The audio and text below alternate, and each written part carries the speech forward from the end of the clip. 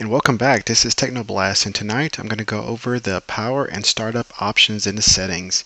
Uh, we're going to try and go uh, through every option that's available and, and I'll explain to you what they do. Okay, so you go to settings and then navigate down to power and startup and turn off and restart is the first option and what this does is just simply shuts down your Xbox completely or restart it that's that's pretty much what it does. Next one, there's a lot more in power mode and startup. So the first one is turn off after one hour inactivity, and that's pretty self-explanatory if you're not using your Xbox uh, and nothing happens on the Xbox for one hour, it just shuts off on its own. And you have either six hours, one hour, or do not turn off at all.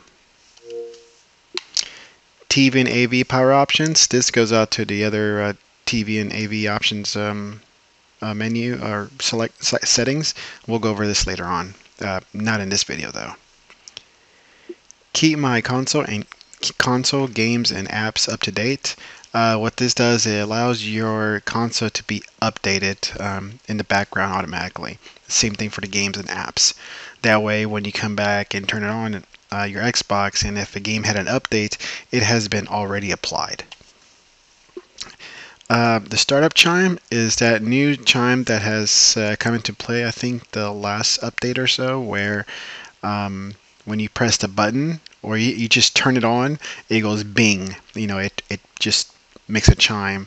A lot of people don't like it, and because of it, uh, they gave us the option to either turn it off, keep it on, or only when the button was pressed. I usually keep it off. Instant on it or energy saving saving option is instant on if you want.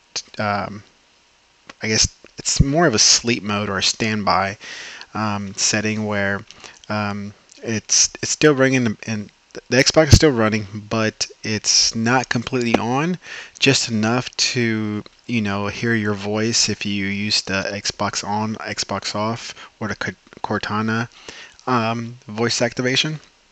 So energy savings, it's pretty much like you, you completely turn it off or instant on is it's still listening to your voice. Uh, and this is what I, the option I was talking about where it wakes up by saying either Xbox on or Xbox off.